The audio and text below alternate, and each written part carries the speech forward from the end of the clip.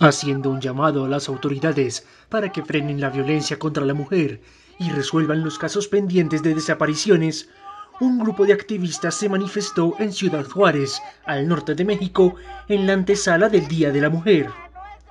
Las presentes pintaron una cruz de clavos de colores rosa y negro y lucieron carteles con frases como ni una más y vivas se las llevaron, vivas las queremos, como sucede con Luz del Carmen Flores, cuya hija, Luz Angélica, desapareció el 4 de agosto de 2008. Este día nos manifestamos para gritarles y seguir gritando que la seguimos buscando, que este día no es de festejo, para mí es de mucha tristeza.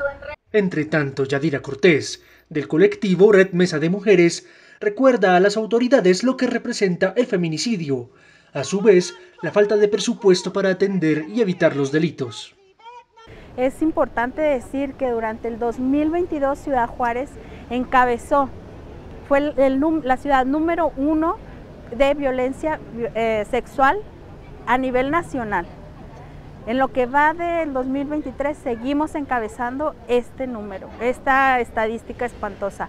¿Qué está pasando? ¿Qué no están haciendo bien los gobiernos? Pues muchas cosas, porque esto sigue presente. Cabe mencionar que según la Fiscalía General del Estado, se abrieron en 2022 6.900 carpetas de investigación por violencia familiar, otras 1.400 por abuso sexual y violación y 500 más por otros delitos contra las mujeres.